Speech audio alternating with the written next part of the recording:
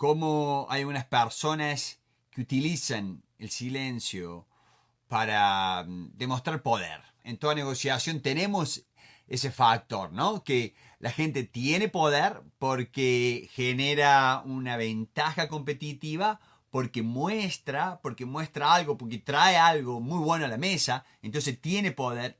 Y hay otra gente que es gente manipuladora, que utiliza la manipulación, ¿no es cierto?, para ganar ventaja. ¿Por qué? Porque estas técnicas manipulativas lo que hacen es trabajar con los sentimientos y es claramente un abuso, ¿no? Cuando vos le haces silencio a alguien, cuando dejas de hablar, es tóxico, es tóxico. Lo aplican algunas personas justamente para lograr el control emocional de esta pobre víctima. Voy a dar un par de, ideas, ¿no es cierto?, recomendaciones, cómo, cómo trabajar una negociación con esta gente.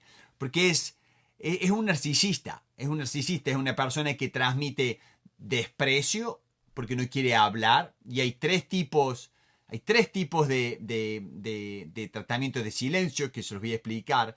Pero es una persona que transmite furia, porque ese silencio duele más que un buen conflicto. El conflicto, el conflicto todos podemos estar, todos, todos podemos con una buena charla, ¿no es cierto? Pero ese silencio, esa falta de que de empatía, ¿no? Esa palabra que hemos hablado y venimos hablando tanto, la empatía, cuando alguien hace ese, tratamiento de silencio, esa manipulación de tus sentimientos, de tu, de, de tu relación, esa pausa, ¿no es cierto? Que haya una tensión, que haya tensión en una discusión, ok, lo podemos hablar, lo podemos discutir, o podemos hacer un time out, podemos esperar y, retomar la conversación en otro momento porque se está yendo de las manos, pero no.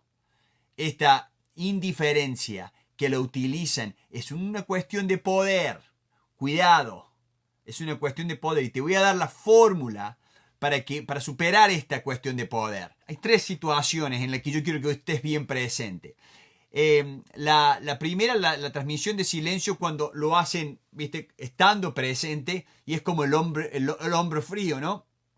Que están presentes como que te, como te ignoran, ignoran lo que decís, ignoran lo que haces y todo. No te sientes, estás en una reunión, ¿no, ¿no es cierto? Y enseguida este, vos te das cuenta y él se olvidó de saludarte y él se olvidó de hacer esto todo te está afectando, te está tratando de destruir emocionalmente, te está tratando de afectar tu autoestima.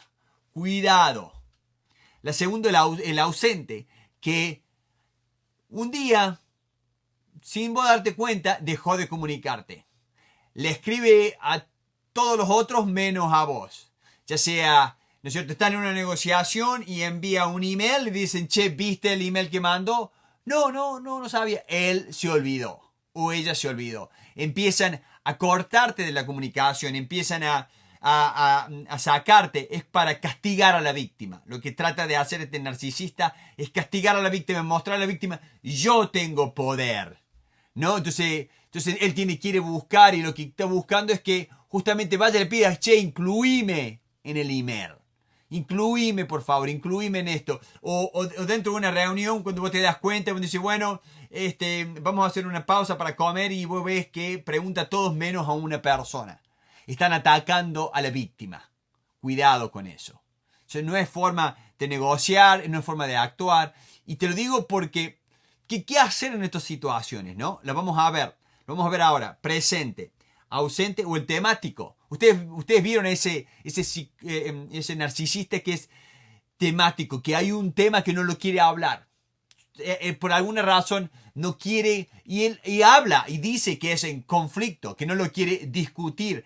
Hablan así, pero justamente están utilizando esa herramienta que es destructiva, que es una herramienta que, que ejerce presión en la parte emocional de de esta pobre víctima, de la pobre persona. ¿No es cierto? Que destruye, destruye la autoestima, a no ser que esta persona sea fuerte, ¿no? Y por eso yo te digo, sé fuerte si hay alguien que quiere jugar este tipo de manipulaciones. Lo hacen en grupos de WhatsApp, lo hacen en, en, en, email, lo hacen en, la, en, negociaciones internas de, de la empresa, lo hacen en negociaciones entre clientes y proveedores. Cuidado, yo quiero que en este grupo nuestra gente en el Instituto de Negociación, todos sepamos lo que es esto. El narcisista no es una persona que tengamos que, que, aplaudirlo. Entonces, si te hace el hombre frío, si te se hace el ausente, ¿no es cierto? Parece como que trata de castigar y no y, te ignora de un día al otro, de un día al otro dejó de, dejó de copiarte, dejó de, de, hablar con vos, o el temático, ¿no es cierto? Con una que, que como que, que, trata de que vos no le inspirás confianza para ir a hablar ese tema. Vos no me inspirás confianza. Bueno, esto, que el narcisista está envenenado porque vos no te sumet, no, no, no estás eh, sumiso a él. Entonces, como vos no estás sumiso, como vos ya dejaste de jugar ese, ese juego de que tenés que estar sumiso, ¿no? Entonces ahí te va a pegar. Hay ciertos temas que no los va a compartir, no los va a hablar con vos. Se va a hacer como que, oh, no, no, no, no, yo lo hablé con otro, todo, y va a tratar. Cuidado, no permitas esa arma destructiva que te suceda. ¿ah? O que le suceda a alguien que vos querés o a alguien que vos respetás. ¿No? Que si se lo están haciendo a alguien. Yo he visto hacer solo a una persona. ¿No es cierto? Y enseguida hay que, saltar, hay que hablar. Esto no, esto no es justo. Entonces, no es sano esto. Porque, acordate, vos tenés que hablar, tener una tensión, tener una tensión, discutir algo, puede ser, pero no hacer esto. ¿Cuál es la única solución que hay a este tratamiento de silencio? La única solución es, primero, no reaccionar. Y yo sé que es más fácil decirlo que hacerlo. Estoy totalmente de acuerdo y te pido disculpas si estás pasando esto. Pero no reacciones. Porque si reaccionas, estás alimentando el ego de esta persona, de este narcisista. Ignora ignorar al narcisista y empezar a construir algo mejor que eso. Porque lo que vos tenés es la posibilidad de reaccionar a lo que vos querés. Lo que te están dando no es algo bueno para vos, pero vos sí no me podés negar que tenés la posibilidad de reaccionar. Y eso es lo importante. Tenemos la libertad de reaccionar. Lo que reaccionemos es nuestro. Y eso es donde nosotros tenemos que focalizarnos. No podemos focalizarnos en lo que él está haciendo o ella está haciendo. Porque es narcisista, él no va a entender, ni tampoco tratemos de, de hacerle entender. Pero vos podés ir reaccionar, podés aprender de eso. ¿Y qué es lo que vos reaccionas? Eso es lo importante. Reaccionar a, alejarte, a, que no te afecte. Este, no le sigas alimentando el ego porque si te sumas a eso, te va a seguir destruyendo. ¿Mm?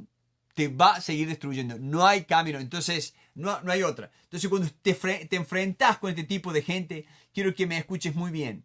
Ignora, ignora, habla con otras personas. Fíjate, confía en vos. Seguí confiando en vos. No, no dejes de confiar en vos. Tené confianza en, vos mismo. Vos podés manejar cómo vos reaccionás. Y ahí está la importancia en cómo vos vas a reaccionar es lo que tenemos que buscar y lo que tenemos que tener cuidado. ¿ah? No, no te dejes esa demostración de poder que muchos manipuladores lo usan. Y negociación cada vez se da más que hay formas que hay gente que como no le gusta en la forma en que vos estás planteando, en que vos estás trabajando un tema, la única reacción, lo único que hacen es atacar en forma este, muy destructiva.